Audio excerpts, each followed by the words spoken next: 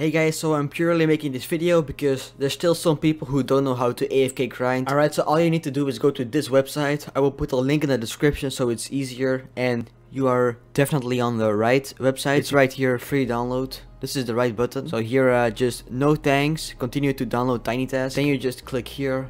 Now it's downloading. Okay, now go down to the search bar and type in TinyTask and just open it. Alright, so once you have opened TinyTask, you just click on press, play speed on original, turn on continuous playback, very important, and record hotkey, for me it's F8, I, I think it's easy, playback hotkey and print screen, and now you can just minimize it. Alright, so I recommend to do this in Fintech. Alright, so for me it's F8, so you press your recording key, and then you just move your mouse around and click F8, click around, and WASD or something, boom just for a few seconds. F8 again so it's recorded. And now if i press print screen which is my playback hotkey it should be doing that automatically. There we go. And now you can just afk grind for as long as you want. This is why you need to put on continuous playback so it keeps looping. Thanks for watching and i'll see you guys in the next video.